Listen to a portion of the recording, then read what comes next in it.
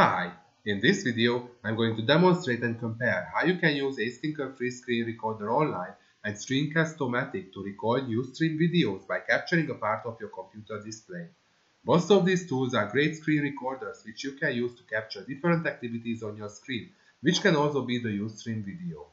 So let's start with AceThinker Free Screen Recorder Online, which is a very powerful, easy to use and fast recording tool which you can use to capture the whole or some area of your screen which you can use directly from your internet browser and there is no need to install it on your computer. You can access the AceThinker Free Screen Recorder online at acethinker.com slash free screen recorder. By clicking on the Start button below, the program automatically installs, the launcher loads, and you can directly access the Recording tab of the program. The highlighted area shows which will be captured during the recording.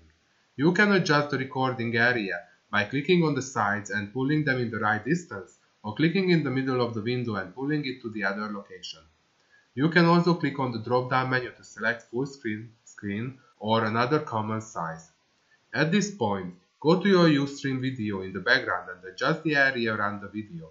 Make sure that you check the microphone icon that the program will record your sound from the computer and not your microphone. Once this is ready, you can also click on the settings button and then on the recording button to change other options such as bitrate, resolution and others from your video.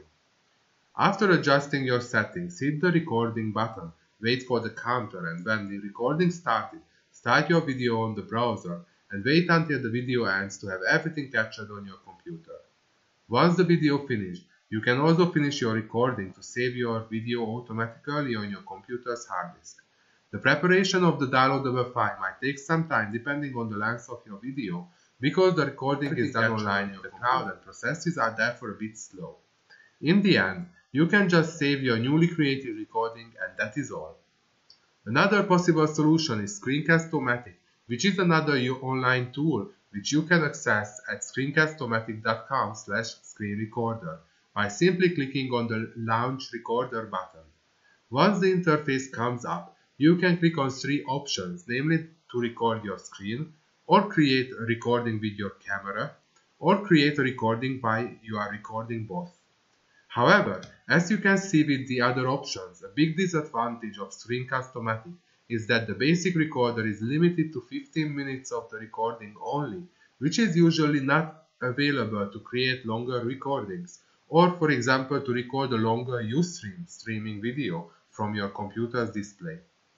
Anyway, before the recording, you can adjust the size of which part of the screen you wish to record, and once you are ready, you can click on the record the screen, after which you can adjust the recording window by clicking in the middle and pulling it to the right direction to include the Ustream video, and finally you can start the recording by clicking on the big red recording button. Once the recording started, you can start your Ustream video, and when you recorded the part you really wanted, you can simply finish it by recording, uh, by finalizing the recording, uh, which will be saved on your computer's hard disk afterwards.